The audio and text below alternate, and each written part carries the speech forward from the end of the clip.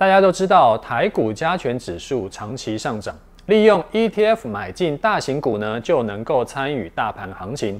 不过，市值型 ETF 也分成三代，到底该怎么样买才是最聪明的？这一集来跟你聊一下。喜欢我的影片，记得按赞、订阅，再追踪我的 Telegram 频道，才不会错过我的盘势看法。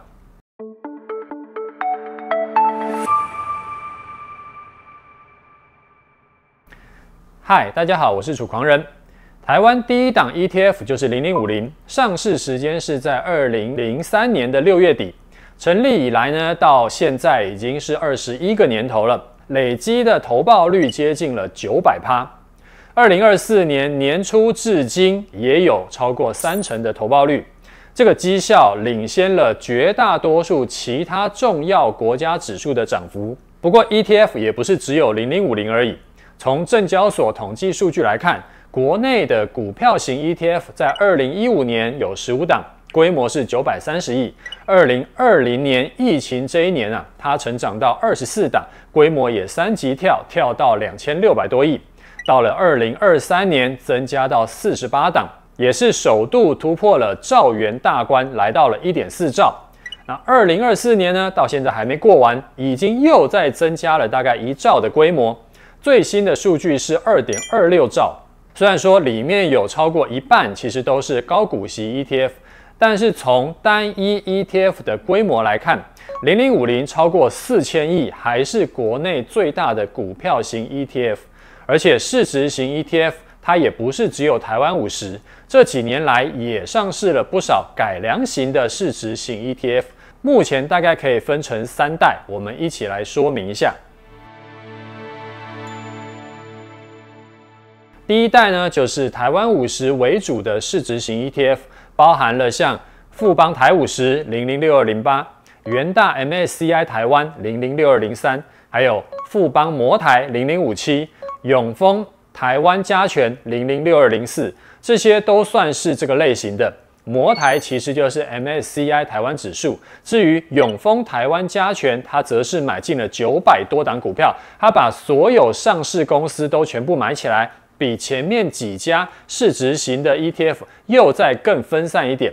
好，再来我们来讲第二代市值型 ETF，这个跟第一代主要的差别是纳入了 ESG 的概念。把一些 ESG 做不好的公司直接汰除掉，把 ESG 纳入除了环保的考量以外，其实呢，它还有一个用处是，它把获利不好的公司也拔掉。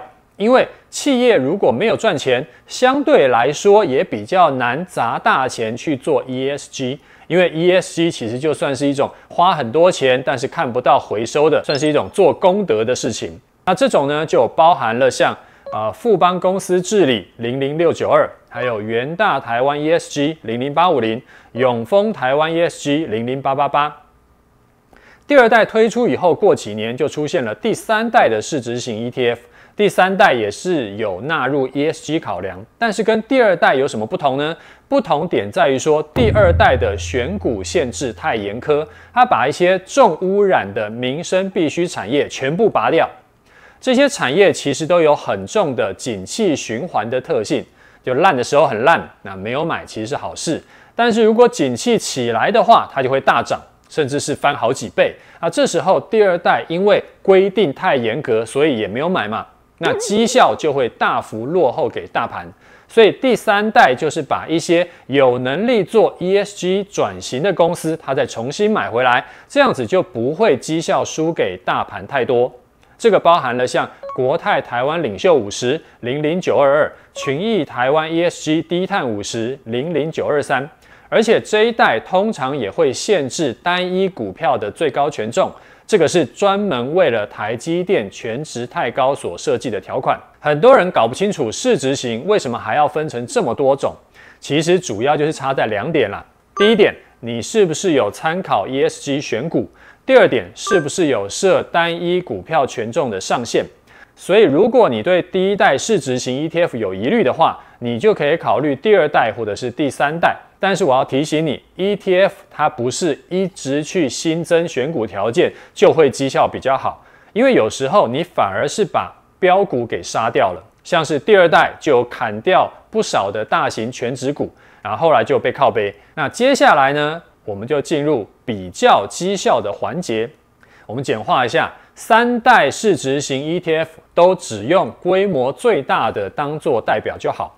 第一代的当然就是零零五零，第二代呢是用规模接近三百亿的零零六九二，第三代我们用规模接近两百亿的零零九二三。第一代零零五零跟零零六二零八最让人诟病的啊，也不一定讲诟病了，有的时候也是好事情。当然就是台积电买到五成以上，所以我们就来看一看其他新一代 ETF 的情况，也顺便看看前五大持股的比重。首先是零零五零，台积电的持股比重来到了五十六趴，第二名的红海也有五趴多，第三名联发科四趴多，所以。前三大合计就超过六成，这个确实是相当集中持股，或者说相当集中持股在台积电身上。再来是第二代的零零六九二，最大持股台积电是四十九趴，红海五趴多，联发科三趴多，前三大持股的合计是五十八趴。虽然说比零零五零好一点点，但是好的很有限。好，最后是第三代的零零九二三。最大的持股一样是台积电，但是持股比例下修到只有三十一趴。第二是联发科的接近八趴，再来是红海的五趴多。这个很明显有看到，还有做权重的调节。台积电占比跟它现在占加权指数的权重差不多，然后前三大持股合计大概四十五趴左右。从分散配置的角度来看，分散程度是第三代的零零九二三。大于第二代的零零六九二，大于第一代的零零五零。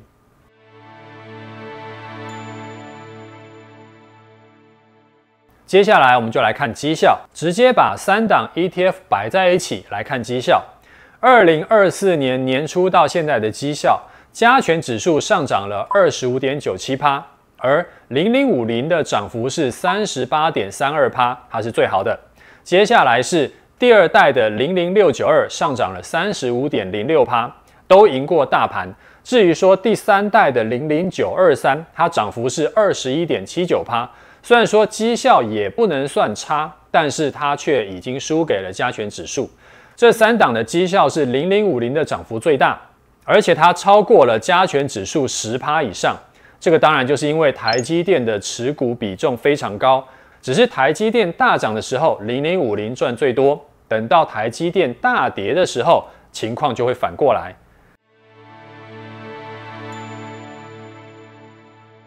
我们最后把三代的市值型 ETF 全部拿出来比比。